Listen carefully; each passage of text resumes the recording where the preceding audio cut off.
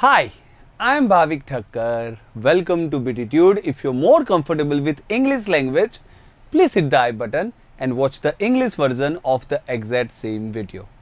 लेकिन अगर आप हिंदी लैंग्वेज से ज़्यादा कंफर्टेबल हो तो फिर इसी वीडियो में बने रहिए देखिए इस वीडियो में हम बात करने वाले हैं क्लॉक्स के बारे में स्पेसिफिकली रीजनिंग वाला क्लॉक अब ये रीजनिंग वाला मैंने क्यों बोला क्योंकि मैथ्स में भी जो क्वांटिटेटिव एप्टीट्यूड होता है वहाँ पे भी कुछ क्वेश्चंस आते हैं है ना जो क्लॉक के ऊपर रहते हैं। जैसे कि कुछ टाइम दिया गया होगा कि 11:45 तब दो हैंड्स के बीच में कौन सा एंगल होता है? या फिर 645 कितना एंगल होता है? 633 कितना एंगल होता है? वगैरह वगैरह। बहुत सारे अलग अलग वेराइटीज़ ऑफ़ क्वेश्चन बनते हैं। लेकिन उसका वीडियो हम अलग से बनाएँगे मैथ्स वाला। अभी हम बात करने हैं, वाले हैं रीजनिंग के बारे में। तो रीजनिंग में देखिए किस टाइप के क्वेश्चंस आते हैं। पहले ये समझ लेते हैं, पहला क्वेश्चन जहाँ पे आपका जो डायरेक्शन का सेंस होता है ना कि भाई नॉर्थ कहाँ है, वेस्ट कहाँ है, वगैरह वगैरह जो बेसिक रीजनिंग है, वो आपका चेक करना चाहते हैं और उसके लिए कुछ ऐसे क्वेश्चंस पूछे जाएँगे। ठीक है? या तो फिर वो चेक करना चाहेंगे कि आपको मिरर इमेज का कुछ पता है कि नहीं। है ना? तो ये रीजनिंग हो गया। तो इसके लिए भी कुछ ऐसा क्वेश्चन हो सकता है जिससे कि टेस्ट कर ले कि आपको मिरर इमेज समझ में आती है कि नहीं, या तो फिर शायद वाटर इमेज है ना? कि कोई भी टाइम को अगर आप पानी में देखोगे तो कैसा दिखेगा, कितने बजे हुए दिखेगा, ये सब क्वेश्चन इस टाइप के क्वेश्चंस भी आपको पूछे जाते हैं। तो ये तीन टाइप के क्वेश्चंस के मैंने तीन अलग अलग वीडियोस बनाए। आज इस वीडियो में हम बात करने वाले हैं पहले टाइप के बारे में, यानी कि डायरेक्शंस के बारे में। तो डिरेक्शन के ऊपर से पहले तो हम कॉन्सेप्ट समझ लेंगे और कॉन्सेप्ट समझने के बाद उसके जो अप्लाइड क्वेश्चन होते हैं, वो क्वेश्चन को भी देख लेंगे। ठीक है? तो चलिए शुरू करते हैं।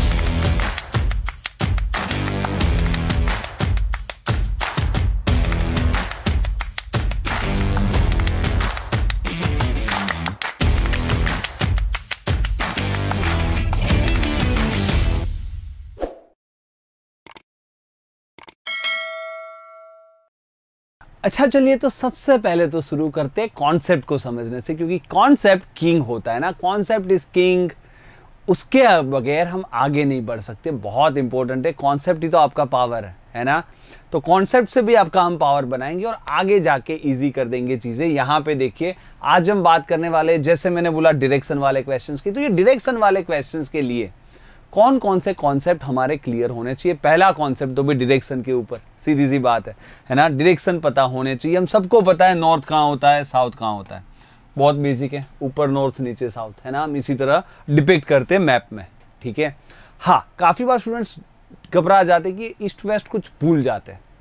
तो देखिए, वो भी ईजी है। थोड़ा आप इंडिया का मैप सोच लीजिए ना, है ना? कोलकाता जो है वो ईस्ट में होता है, गुजरात वेस्ट में होता है। कभी भी भूल जाए तो इससे भी थोड़ा बहुत याद आ जाएगा, है ना? तो आपको आपका ईस्ट और वेस्ट भी क्लियर हो गया। चार बेसिक डिरेक्शन क्लियर है और बाद में तो जो बाकी की चार डिरेक्शन है, बहुत ही ईजी है। क्योंकि हमें पता है नॉर्थ और ईस्ट के बीच में नॉर्थ ईस्ट होता है साउथ और ईस्ट के बीच में साउथ ईस्ट होता है।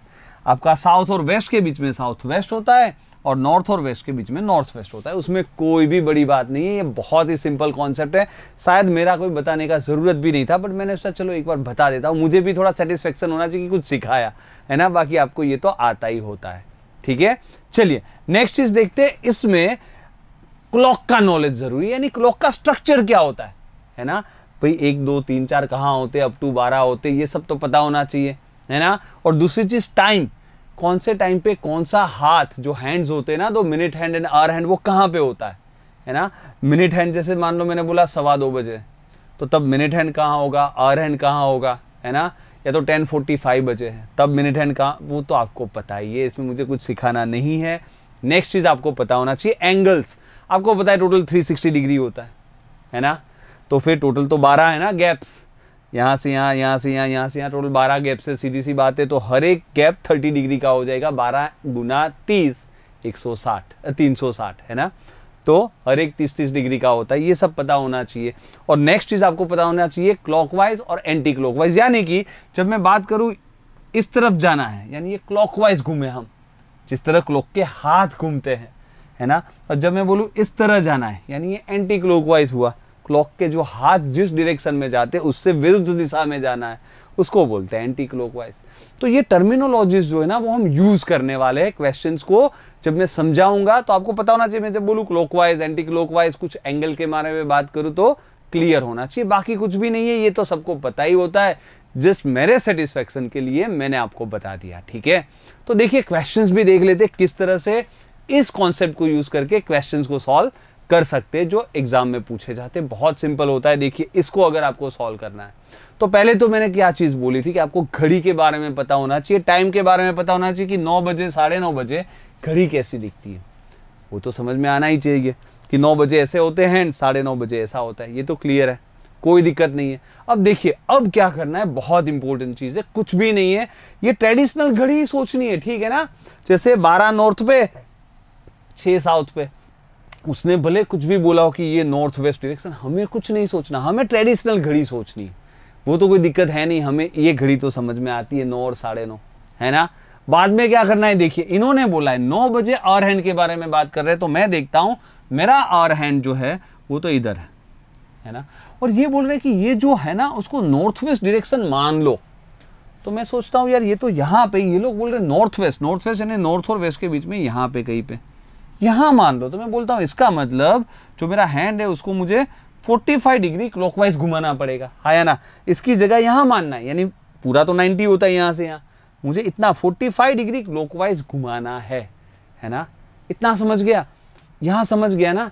और कुछ नहीं करना, यहाँ पे मुझे आंसर सोचना है, और उसको भी 45 डिग्री क्लॉकवाइज घुमाना है। यहाँ पे बोलिए, बोला है साढ़े नौ बजे।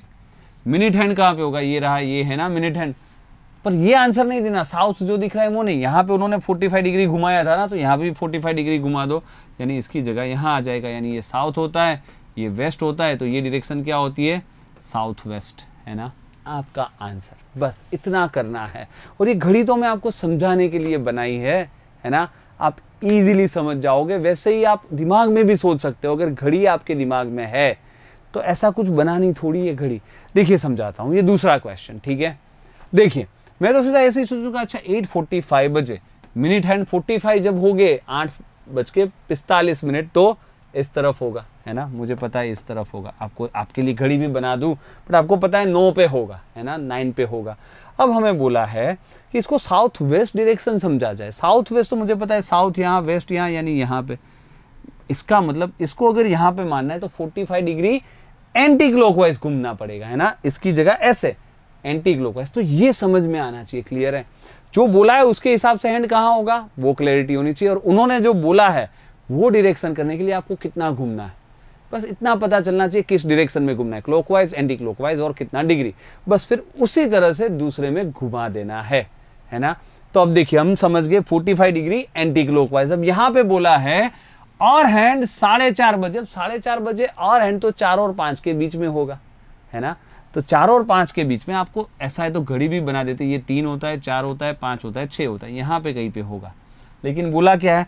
और हैंड एंटी क्लॉकवाइज 45 डिग्री घुमाना है तो इसकी जगह 45 डिग्री। ऐसे। तो ये कौन सी डायरेक्शन आ गई? यहाँ पे आ जाएगा। यहाँ पे यानी कि ईस्ट आपका आंसर है ईस्ट है ना? तो हैंड से कोई लेना देना नहीं है कि यहाँ पे और हैंड हो, यहाँ पे मिनट हैंड हो, जो भी हो। यहाँ पे जितना घुमा है, उसी तरह से यहाँ पे घुमाना है और आंसर दे देना है। बात खत्म। है ना? सिंपल सी चीज़। कुछ भी नहीं है। देखिए, अभी तो आप घड़ी भी बना रहे हो, बनानी नहीं होती। दिमाग में भी हो जाएगा। जैसे कि ये क्वेश्चन है। मैं देखता हूँ छः बज के पंद्रह मिनट मिनट एंड तो तीन पे होगा। अच्छा लेकिन इन्होंने बोला, इसको वेस्ट डिरेक्शन मानो। है ना? आपको बोला वेस्ट तो मैं सोचता हूँ, ये तो ईस्ट है। वेस्ट यानी एग्जैक्ट उल्टा। तो उल्टा कर देना है। आंसर एग्जैक्ट उल्टा देना है। बात खत्म। यहाँ से ये समझ गए? यहाँ पे। साढ़े दस बजे। और हैंड साढ़े दस बजे तो दस और ग्यारह के बीच में। है ना? आपको समझ में आ रहा है? दस और ग्यारह के बीच में, यानी ऐसे होता है। आपको वापस घड़ी सब समझाने के लिए ऐसे होता है। लेकिन उल्टा सोचना है, यानी यहाँ पे सोचना है, यहाँ पे सोचना है, यानी ये होता है आपका ईस्ट, ये होता है आपका साउथ, उसके बीच में क्या बोलेंगे हम? साउथ ईस्ट, है ना? तो कुछ भी नहीं है, इतना ईजी है है ना? Within ten seconds you can easily answer this question ठीक है? और राइट देन देखिए यहाँ पे देखते वापस कुछ भी नहीं है, दो बज के चालीस मिनट मिनट हैंड कहाँ पे होता है? आठ पे। है ना? आठ पे, दो बज के चालीस मिनट आठ पे होता है। लेकिन ये वो लोग बोल रहे हैं, उसको साउथ डिरेक्शन मान लो। तो मैं सोचता हूँ, यार, जो आठ पे होता है, उसको साउथ यानी छः पे मान लूँ, यानी दो डिग्री, दो नहीं, साठ डिग्री, दो नंबर्स है ना? आठ की जगह छः यानी सिक्सटी डिग्री एंटी क्लोकवाइज घूमना है। तो जो भी आंसर आए सिक्सटी डिग्री एंटी क्लोकवाइज घुमा देना या तो आप ऐसा भी सोच सकते हो, दो नंबर कम करके लिखना है। आठ की जगह छः दो नंबर कम कर देना है। है ना? यहाँ पे देखते, बोला ग्यारह बज के पच्चीस मिनट को मिनट हैंड कहाँ पे होगा? मिनट हैंड तो पच्चीस यानी पाँच पे होगा। अब दो हैंड, दो नंबर्स कम करने पाँच की जगह चार, तीन। तीन यानी कौन सी डायरेक्शन हो गई? है ना? आपकी हो गई वापस ईस्ट तो वापस इसका आंसर भी है ईस्ट ठीक है ना? इतना है, इसमें कुछ भी नहीं है। इससे इजी मेथड क्या हो सकती है? है ना?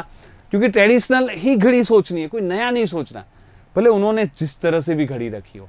अपने ट्रेडिशनल सोचेंगे, उसके हिसाब से जितना मूवमेंट है, वही मूवमेंट नीचे आंसर में दे देंगे, बात खत्म। है ना? तो बहुत ही ईजी अप्रोच है। इस तरह से इस क्वेश्चन को हम इजीली कर लेंगे सॉल्व ठीक है?